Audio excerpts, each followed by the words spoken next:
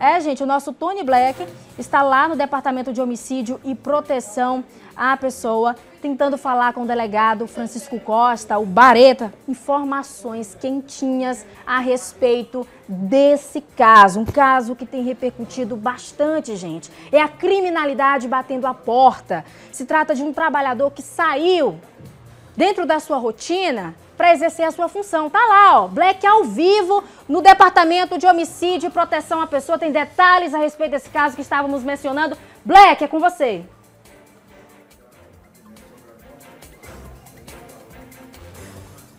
Muito bom dia, minha preferida. Eu estou aqui ao lado do delegado Barreto. Delegado, por favor, chega um pouquinho mais aqui. Isso, beleza. Delegado, o que é que a polícia sabe? Vamos direto ao assunto sobre a morte deste músico que aconteceu aí num, é, num cruzamento de duas avenidas importantes da capital do estado do Piauí. Isso está ao vivo para o planeta. Bom dia. Bom dia. Olha, nós temos que, primeiramente, historiar o fato. Uhum. Pela manhã, nós tomamos conhecimento, através do nosso plantão, de que havia uma notícia na imprensa de Teresina dando conta de que uma pessoa tinha morrido após um tiroteio perseguição de policiais militares a indivíduos que estavam furtando fios de cobre da rede de telefonia e elétrica.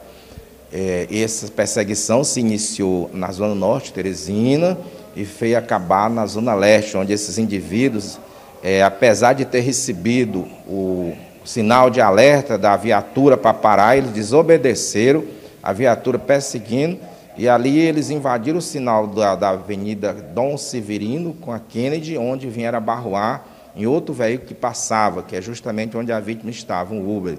E lá, esses, um deles foi capturado pela Polícia Militar, outros dois se revadiram, era um homem e uma mulher, e a vítima foi levada para o HUT e veio a falecer. Então, havia aquela rumor de que ele tinha sofrido um disparo de arma de fogo nós temos a determinação e uma recomendação do Conselho Nacional de Justiça e da Secretaria Nacional de Direitos Humanos da Presidência da República que qualquer intervenção policial com resultado morte tem que ser investigado pela unidade especializada em homicídio. E isso nós fizemos de pronto, eh, determinamos as diligências, os policiais foram até a central, lá a autoridade policial já tinha colhido as declarações dos policiais militares e também do motorista do Uber. Bom, e recebi também uma notícia de oficiosa de que a morte do a vítima não teria sido por disparo de arma de fogo, uhum. e sim uhum. devido a traumatismo. Mas isso é notícia oficiosa que eu não posso dizer, porque não recebi o laudo. Eu só vou me pronunciar quando o laudo estiver pronto e entregue nas minhas mãos no sistema nosso.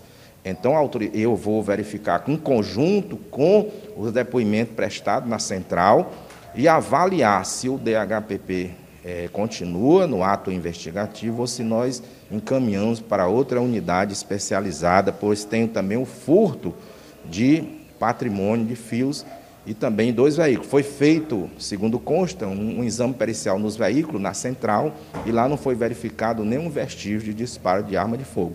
Contudo, nós, por cautela e por uma questão de ética, nós vamos aguardar o laudo para poder nos pronunciar.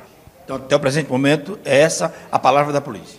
A palavra da polícia, porque nós não recebemos o laudo pericial. Veja bem, o laudo pericial, ele vai dizer a causa-morte e também como definir a natureza jurídica do fato, para que a autoridade policial, com os demais depoimentos e demais diligências, forme todo o conjunto probatório. Nós não podemos, a polícia como no, como no, no sistema de meios de investigação e de prova, ele não pode se agir única e exclusivamente por uma informação ou então por uma, uma prova só, um indício só. Tem que ter todo um conjunto, toda uma esteira. Tá certo, olha, mais informações. Nós vamos conversar, voltar a conversar com o delegado é, durante a programação da TV Antena 10 e com certeza é minha preferida. Nós vamos ter novidades aí no caso, porque existem várias histórias e toda história. Eu quero dizer bem claro que a nossa missão na Polícia Civil é investigar. E investigar com toda a verdade para se chegar à verdade real, para que leve à população o esclarecimento do fato, para que tenha uma credibilidade e confiança, porque a gente não pode dizer uma coisa e der dizer. Por isso que a gente tem que ter cautela ao analisar e ao investigar um fato em si. Tá certo. Então, durante a programação, com certeza, nós vamos conversar mais com o delegado e aí ele vai ter realmente mais informações. Três, eu volto com você, minha preferida. Comanda daí que eu fico por aqui. Leque, obrigada pelos detalhes. Agradeço ao delegado Francisco Costa Bareta pelos esclarecimentos. Parabéns pela investigação, muito bem conduzida. É claro que os laudos é que vão realmente apontar a direção certa nessa investigação. A gente agradece demais esses posicionamentos. Você sabe que você tem prioridade aqui dentro da nossa programação. Muito obrigado, um excelente dia a vocês. Está aí, gente. A polícia está em cima do fato. Isso se chama prudência. Prudência, não dá para afirmar. É necessário exames, toda essa cautela para afirmar tal, tal alto, tal ato, tal situação, gente. É claro que todas as informações você vai ter ao longo da nossa programação, porque o Black está lá apurando tudo com a polícia.